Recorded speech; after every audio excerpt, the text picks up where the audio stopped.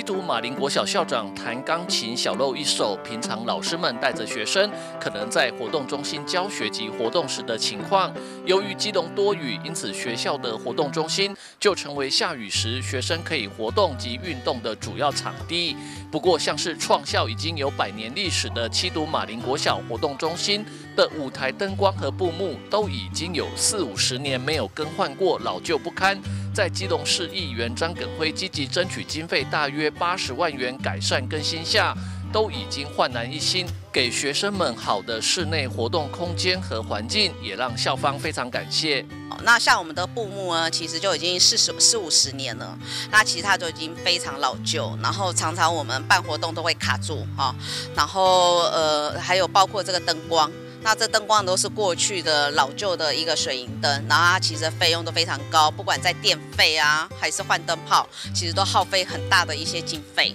那就非常感谢我们的张义座哈，然后他其实就是秉持着教育是没有阶级，然后也没有城城乡差距，然后照顾偏乡的这样一个理念，能够把资源做平均分配。那这一次让耿威有机会来为学校争取。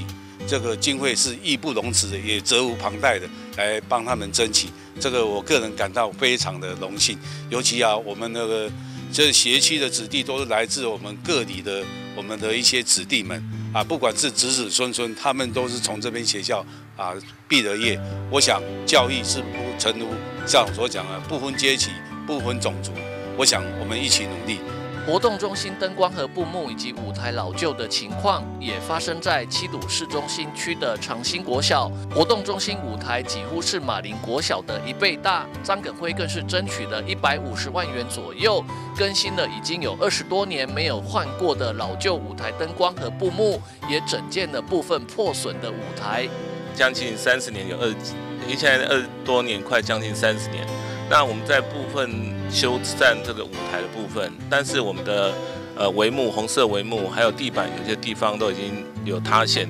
那我们这次呢呃做一个完整的那全面性的来一个做一个整修，包括灯光的一个呃跟跟动，那希望透过舞台的一个改善的话，让学生在表演的场地有能够增进，再来就是我们在大型活动跟所有庆典庆典典礼里面。都能够有更舒适的环境，那也谢谢呃张张耿威张议员能够更新，让我们这些协同的话，能够在活动方面，还有一些他们平常都要举办的一些大型的话，让学校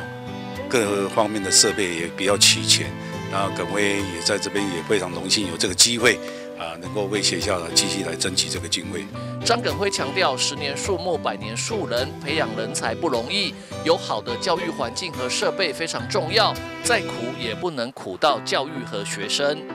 记者吴俊松机动报道。